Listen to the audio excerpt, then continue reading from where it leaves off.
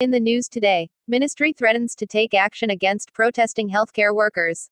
A memo issued to all regional health officers by the permanent secretary of the ministry, Colette Adams, threatened to take action against the workers who participated in unauthorized protests across the country.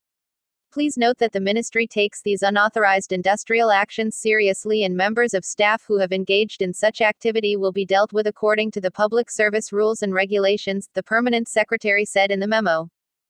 A car bearing number plate PSS 7357 somehow ended up in a drain. Two year old dies after given milk laced with drug. A two year old boy died at the Georgetown Public Hospital on Friday, 19 days after he was reportedly given milk laced with methamphetamine, a drug commonly known as Molly.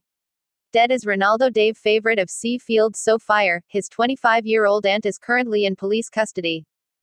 Chief Elections Officer Lowenfield arrested, remained silent, released on station bail. Police headquarters in a statement Saturday said that Lowenfield was arrested and taken to the Criminal Investigations Department, CID, headquarters, Eve Leary, Georgetown, and put several allegations to him in the presence of his attorney. After being told of the allegations, Mr. Lowenfield exercised his right to remain silent.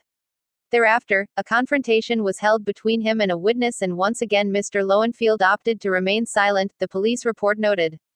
New Demerara Harbor Bridge will be from Nandy Park to LaGrange. Government has decided to build the new Demerara Harbor Bridge from Nandy Park, East Bank Demerara to LaGrange West Bank Demerara. Public Works Minister Juan Edghill says the request for expressions of interest will be publicly advertised this weekend and the deadline will be in early December. President Irfan Ali Saturday afternoon led a team of engineers to locations at Nandy Park. Seven year old suffers broken leg after car tire, blows out, vehicle topples several times off roadway.